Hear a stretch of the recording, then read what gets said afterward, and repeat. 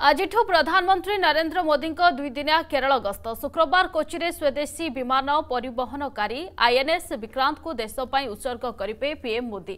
ଏଥିରେ ଏହା ସହିତ କାଲାଡି ଗାଁରେ ଆଦି ଶଙ୍କରାଚାର୍ଯ୍ୟଙ୍କ ପବିତ୍ର ଜନ୍ମସ୍ଥାନ ପରିଦର୍ଶନ କରିବେ ପ୍ରଧାନମନ୍ତ୍ରୀ। ସେପ୍ଟେମ୍ବର ଦୁଇରେ କାର୍ଯ୍ୟକ୍ଷମ ହେବ ବିମାନବାହୀ ଯୁଦ୍ଧପୋତ ଆଇଏନ୍ଏସ୍ ବିକ୍ରାନ୍ତ। ଏକ ସ୍ୱତନ୍ତ୍ର କାର୍ଯ୍ୟକ୍ରମରେ ଏହାକୁ ନୌସେନାରେ ସାମିଲ କରାଯିବାକୁ ଥିବାବେଳେ ପ୍ରଧାନମନ୍ତ୍ରୀ ନରେନ୍ଦ୍ର ମୋଦି ଏହି କାର୍ଯ୍ୟକ୍ରମରେ ଯୋଗଦେବେ। ବିକ୍ରାନ୍ତ କାର୍ଯ୍ୟକ୍ରମ ହେବ କାର୍ଯ୍ୟକ୍ଷମ ହେବା ପରେ ଭାରତ ବିମାନ ପରିବହନକାରୀ ଜାହାଜ ସଂଖ୍ୟା ଦୁଇକୁ ବୃଦ୍ଧି ପାଇବ ଯାହା ଦେଶର ସାମୁଦ୍ରିକ ସୁରକ୍ଷାକୁ ଆହୁରି ଅଧିକ ଶକ୍ତିଶାଳୀ କରିବ। ଏହା ହେଉଛି ଭାରତର ସାମୁଦ୍ରିକ ଇତିହାସରେ ନିର୍ମିତ ସର୍ବବୃହତ ଜାହାଜ। ଏହି କାର୍ଯ୍ୟକ୍ରମରେ ପ୍ରଧାନମନ୍ତ୍ରୀ ନୌସେନାର ନୂଆ ପତାକାକୁ ମଧ୍ୟ ଉନ୍ମୋଚନ କରିବେ।